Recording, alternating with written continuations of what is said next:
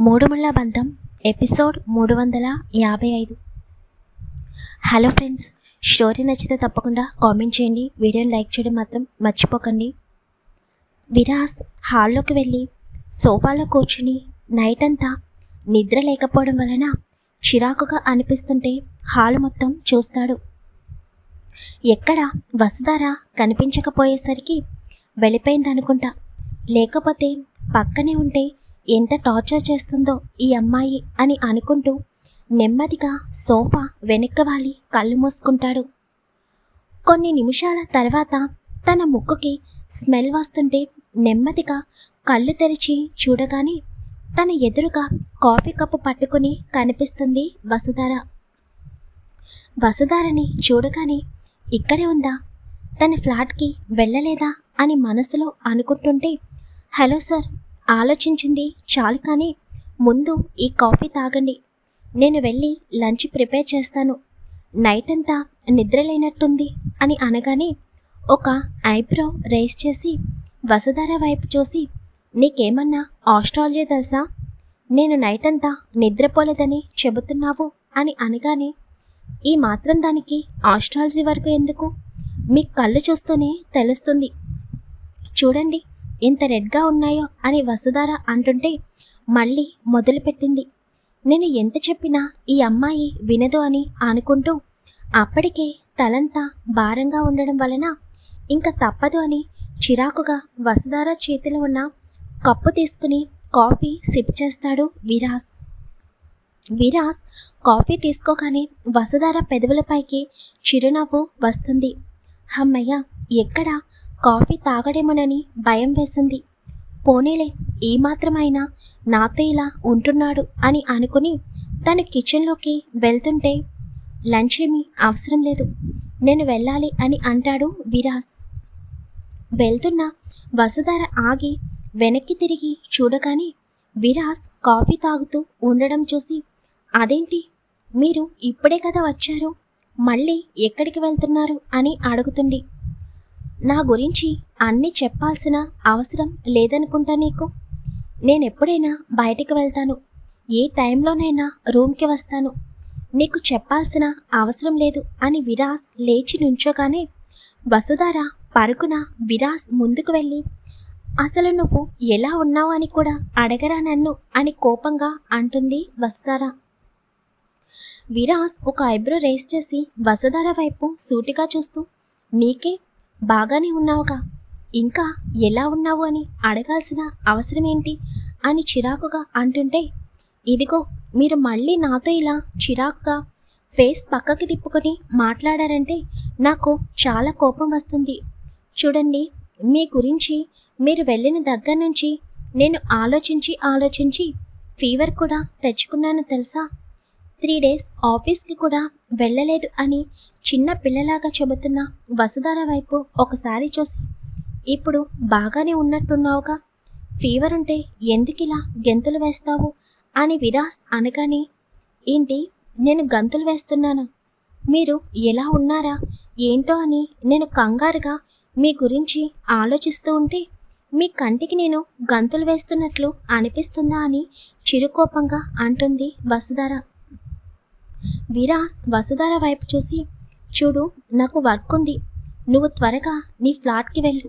నాకు చిరాకు తెప్పించుకు అని రెండడుగులు ముందుకు వేయగానే తనకి కాల్ వస్తుంది. తన చెవి దగ్గర ఉన్న బ్లూటూత్ ప్రెస్ చేయగానే హలో విరాస్ అని వినిపించిన వాయిస్కి విరాస్ పెదవులు చిన్నగా విచ్చుకుంటాయి.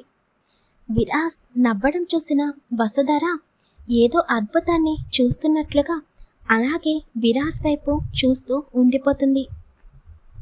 వైశ్వాని పిలిచిన విరాస్ పిలుపుకి అప్పటి వరకు ఎంతో అపురూపంగా చూస్తున్న వసుధర కనుబొమ్మలు ముడుచుకోగా విరాస్ వెళ్ళి సోఫాలో కూర్చుని చెప్పు వైశ్యు ఏదన్నా ప్రాబ్లమా? నీ దగ్గరికే వస్తున్నాను అని చెప్పగానే ఇందాక విరాస్ త్వరగా వెళ్ళాలి అన్నది గుర్తుకు వచ్చి హో అయ్యగారు ఆ వైష్ణవి దగ్గరికి వెళ్తుంది. అయినా ఆ వైష్ణవికి కొంచెమైనా బుద్ధుందా? ఈ టైగర్ ఏంటి? ఎంతో ప్రేమగా వైశ్య అని పిలుస్తున్నాడు అని చిరాకుగా మనసులో అనుకుంటుంది అదేం లేదు విరాస్ నన్ను చూసుకోవడానికి విక్కీ ఉన్నాడు కదా. నువ్వు నైట్ నుండి పడుకోలేదని విక్కీ చెప్పాడు. కొంచెం సేపు రెస్ట్ తీసుకుని లంచ్ చేసిరా. అప్పుడు విక్కీ ఇంటికి వెళ్తాడు. కొంచెం సేపు పడుకో. లేకపోతే హెల్త్ అప్సెట్ అవుతుంది అని వైష్ణవి చెబుతూ ఉంటే నవ్వుతూ ఏంటి అమ్మాయి గారు? చాలా జాగ్రత్తలు చెబుతున్నారు. నువ్వు అలా ఉంటే నాకు ఎక్కడ నిద్ర పడుతుంది? అందుకే నీ దగ్గరికి వద్దామని అనుకుంటున్నాను అని విరాజ్ చెబుతూ ఉంటే కొంచెం సేపు రెస్ట్ తీసుకో. నేను చెప్తే వినవా అని చిరుకోపంగా అంటుంది వైష్ణవి. బాబోయ్ దయ్యానికి కోపం వచ్చినట్టుంది. సరే సరే కొంచెం సేపు రెస్ట్ తీసుకుని అప్పుడే నీ దగ్గరికి వస్తాను. సరేనా?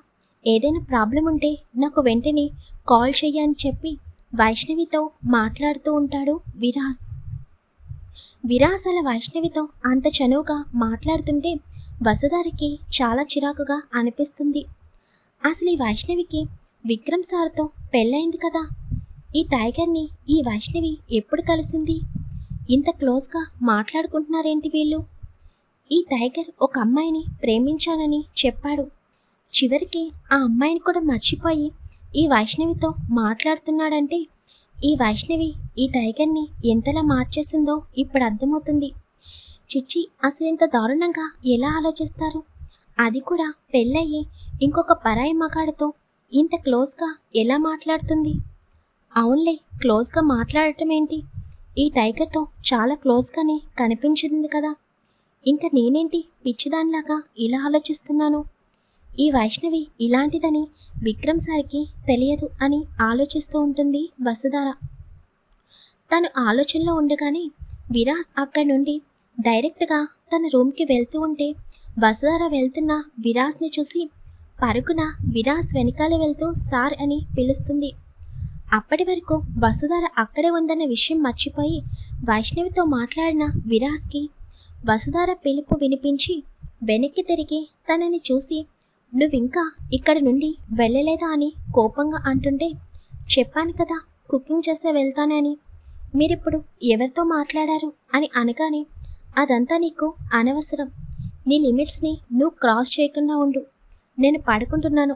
ఒక వన్ అవర్ వరకు నన్ను డిస్టర్బ్ చేయకు అని చెప్పి తన రూమ్లోకి వెళ్ళి బెడ్పై అలాగే పడిపోతాడు. నైట్ నుండి సరిగ్గా నిద్ర లేకపోవడం వలన పడుకున్న ఐదు నిమిషాలకే మెల్లగా నిద్రలోకి జారుకుంటాడు. విరాస్ తనతో ఏమీ చెక్కపోయేసరికి వసుధారికి చిరాకుగా కిచెన్లోకి వెళ్ళి కుకింగ్ చేస్తూనే వైష్ణవ్తో మాట్లాడిన మాటలు గుర్తుకు తెచ్చుకుంటూ ఉంటుంది. వైషు అంట వైషు ఎంత ప్రేమగా పిలుస్తున్నాడో.